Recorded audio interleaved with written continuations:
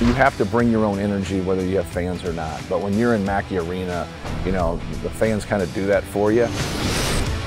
We're not giving out promises that you, this is how many minutes you're going to play, this is automatic. You know, you got to come in and earn it. You know, he had an uncanny ability to, to be able to yell at somebody and tell them they were okay in the same sentence. That was really our measuring stick. Indiana and Coach Knight made us better. There's no doubt about that. That competitiveness, that, that rivalry. That's so interesting that you're like okay with that loss.